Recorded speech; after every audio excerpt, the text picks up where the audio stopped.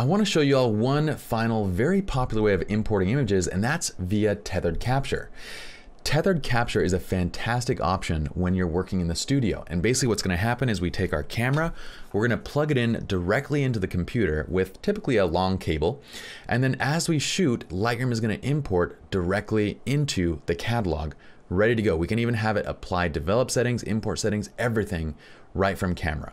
It's super nice when you're shooting in the studio because you can verify things on a large screen. You can zoom in, check your detail, you can see how things are, where's your light falling, everything directly on a larger screen rather than trying to look at everything from the viewfinder or from this uh, little uh, LCD on the back. So what we're gonna do is I have my 5D Mark III here. And by the way, let me just show you all one thing.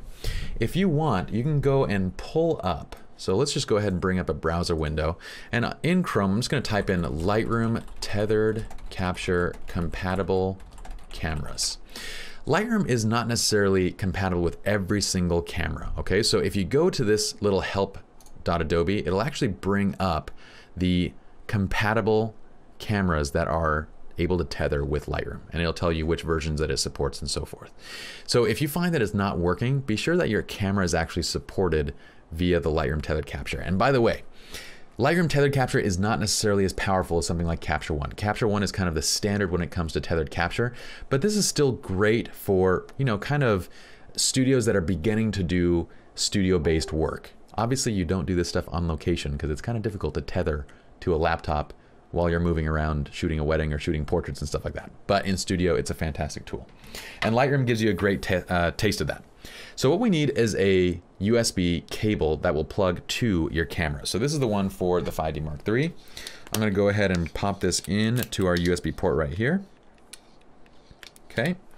We're gonna go ahead and plug this into my machine. And what you can do now is bring up, go to your file menu, file, file, file. There we go. File menu, bring up the tethered capture option and click start tethered capture okay? We're gonna give it any name. You can give it a session name, basically, and uh, we can call it anything. Let's call it crash course test.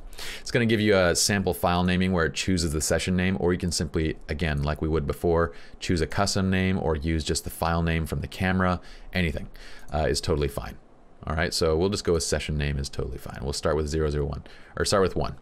Um, with the location, we would choose a location. So for example, if I want it to not go under my pictures on my computer, I'm just going to go to the desktop and we're going to say right here, sample tethered capture. Okay, select that folder. All right, and then we can choose our metadata if we want to include any of those presets along with it.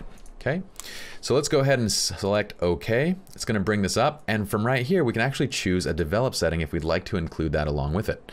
So if I want to include signature color, I can have that. I already have my metadata dialed in. I have everything. Now I'm just going to plug this in to my computer.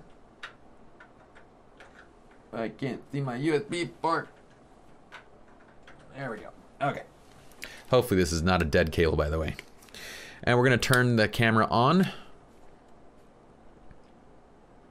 And once on, it should automatically detect. You see it detects EOS 5D Mark III. Crash course test is our settings. It actually will show me my camera settings right here, my white balance and everything. And now I simply bring up my camera, which I can't even uh, bring it up at the moment because it's, the cable's too short. The cable's only like one inch long. I'm gonna turn off the manual focus just so I can take a, a snapshot and just show you guys. Show you that it works. Okay, let's go ahead and shoot a blurry shot of my floor. Lovely oh my gosh, you should be a photographer. This looks amazing. And you can see that as soon as I shot it, it basically comes directly into the catalog. It applies the signature processing to it. And I can even use this button to click my camera. So if I click this, ah, watch.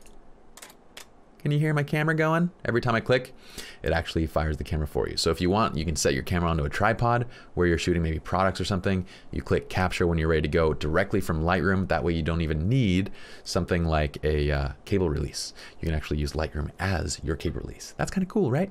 So this is tethered capture. It's a great, again, it's a great feature built into Lightroom because it might not be the best solution for a professional studio. You might want to go to Capture One. But if you're starting out with studio work and this is already inside of Lightroom and it's compatible with your camera, it's a great place to start with tethered capture until you're ready to move on to something a little more advanced. That's it for this tutorial and this entire chapter on importing, exporting, merging catalogs, everything in between. Hopefully all of this makes sense. We now can bring our images into Lightroom in any method. We can now edit those images and now export those images to any source, any place that we want, and for any medium that we would like. Let's go ahead and move to the next chapter.